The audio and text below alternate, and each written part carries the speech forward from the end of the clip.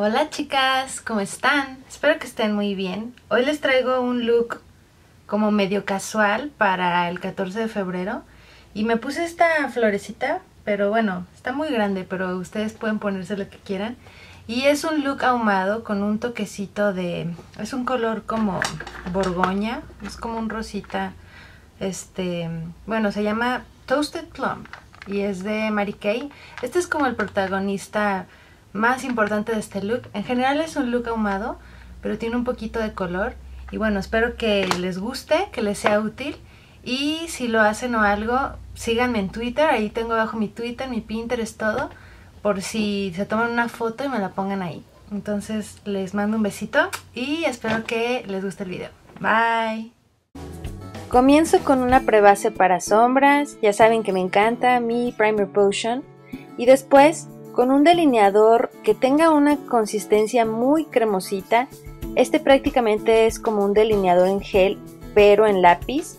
Lo que hago es trazar una línea muy pegadita a las pestañas y esta línea la voy a difuminar con un pincel sintético todo hasta la almendra del ojo sin pasar de la cuenca.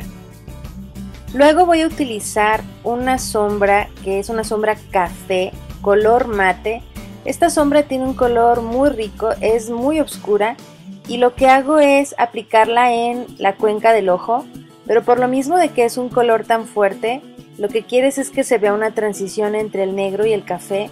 Lo voy a difuminar muy bien en los dos ojos, necesitas difuminar mucho y más o menos al final se te verá algo así, que este es el Smokey Eye clásico, pero le vamos a agregar un toquecito de color con esta sombra de Mary Kay es una sombra color borgoña que tiene mucho brillo y da al final un toquecito como rosa, como un poquito un tinte rojo. Y esta la voy a aplicar solamente en la almendra del ojo, en la parte en la que estaba el negro, para, darle una variedad distinta, para que no sea el smokey eye tradicional y este sea un smokey eye más romántico. Y con una sombra color mate también, en un color crema, voy a iluminar el arco de mi ceja y el lagrimal. Luego voy a pasar lo que me quedó del el delineador negro solamente en la parte de abajo de las pestañas.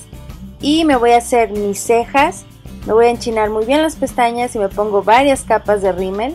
Y voy a pasar al resto de mi cara con este rubor que es un rubor con un tono rosado lo voy a aplicar en las mejillas y también lo voy a aplicar en la frente para darle un poco más de como colorcito a mi rostro. En la nariz, un poquito en la quijada, en la barbilla. Y después me voy a poner un tono nude. Saben que me encantan los tonos nudes en los labios. Y más con el smokey eye, se ven súper bien. Ya nada más para finalizar me voy a echar este spray para fijar el maquillaje que es de Urban Decay. Que está padrísimo. Y el peinado, la verdad, este, lo voy a hacer muy muy sencillo. Solamente tomo la parte de enfrente, la coronilla de, del cabello. Y voy a hacer un crepé para darle un bien fácil, de nada más al cabello por secciones, haciendo el crepé para que sea como más voluminoso a que si lo haces todo de un jalón. Ya nada más la parte de arriba hay que alisarla con el mismo cepillo. Te pones unos pasadores para fijar ahí muy bien el cabello y yo como estoy pensando en que quiero tener pues el cabello lejos de mi rostro, me voy a hacer una colita de caballo. Nada más este voy a pasar todo el cabello hacia atrás. Lo voy a alisar muy bien porque quiero que se vea como medio rockero, así como muy liso de los lados y voluminoso en la parte de enfrente. Me voy a poner una liguita ya para atar todo el cabello.